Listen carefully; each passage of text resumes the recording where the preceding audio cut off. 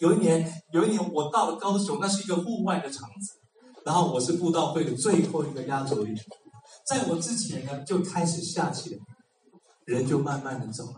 我突然觉得很紧张，万一我一上去下大雨，那我今天不就白来了？后来我跟我的乐团的团员就开始祷告，我说主啊，让他不要下雨，让我们等一下布道的时候能够是晴天。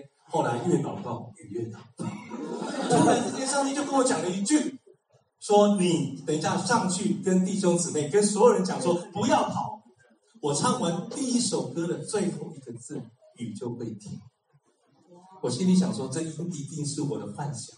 这不可能是上帝要我讲，我怎么敢讲这种话呢？万一雨没停呢？后来那个感觉非常强烈，然后那个主持人就开始介绍，欢迎春雨乐团，雨更大，因为我们叫春雨乐团。然后我第一首带来的歌叫《活水江河》，哇，雨超大的，天哪，那个雨好大，我就觉得我根本没有信心讲那句话。然后我突然就觉得说，主啊，真的吗？真的吗？上帝说说，我就说不要跑，所有人都这样。我告诉你们，我唱完这首歌的最后一个字，雨就会停。大家转过来说：“阿伯嘞，来。”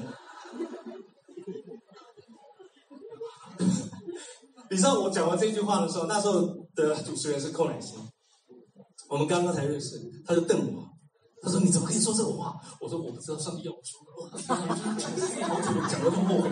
然后我就开始，我也不能把最后一个字拉特别长，对不对？我怎么知道我拉到什么时候他也会停？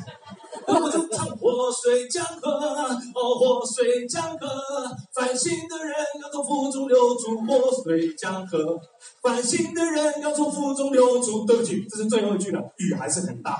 活水雨还是很大，江雨还是很大。河，